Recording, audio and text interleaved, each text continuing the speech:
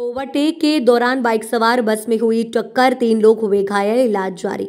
खबर बैराड़ थाना क्षेत्र के अंतर्गत आने वाले टोडा रोड के पास की है, जहाँ ओवरटेक के दौरान बाइक और बस की भिड़ंत हो गई, जिसमें बाइक पर सवार तीन लोग घायल हो गए, जिन्हें उपचार हेतु सामुदायिक स्वास्थ्य केंद्र बैराड़ में भेजा गया। जहाँ प्राथमिक उपचार के बाद जिला अस्पताल रेफर कर दिया। वहीं इस दुर्घटना में बस सड़क से उतरकर खेत में जा पहुँची। हालाँकि बस में सवार यात्री सुरक्षित हैं।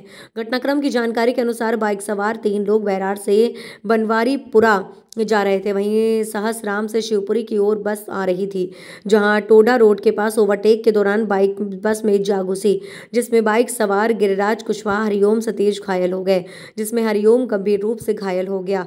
जहाँ सूचना मिलते ही पुलिस मौके पर पहुँची और घायलों को इलाज के लिए अस्पताल में भर्ती कराया गया। संवाददाता धर्मेंद्र शर्मा की रिपोर्ट। जब आपका नरेश तो ये एक्सीडेंट कहाँ पे हुआ है? क्या कुछ घटना है पूरी? क्या मामला है? मामला था मैं तो घर पे घर पे था। बच्चे इतना से हुआ है पता नहीं कैसे हुआ क्या हुआ तो ये कहाँ से कहाँ जा रहे थे? ये जब देवरी से आवा देवरी से आ रहे थे। गोवर्धन। तो इसमें कितने लोग घायल हो गए? तीन लोग घायल हैं।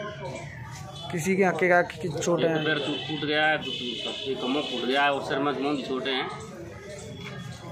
और कपड़ा वस्त्र उतारेंगे तो पता चलेगा कितनी चोटें हैं।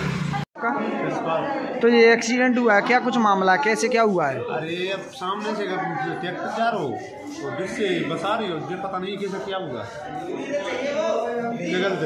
तो ये कैसे थे ये लोग? तो बस में और मो, मोटरसाइकिल में एक्सीडेंट हो गया है। बस में और मुझे पता नहीं बस टकराई मुझे टकराई।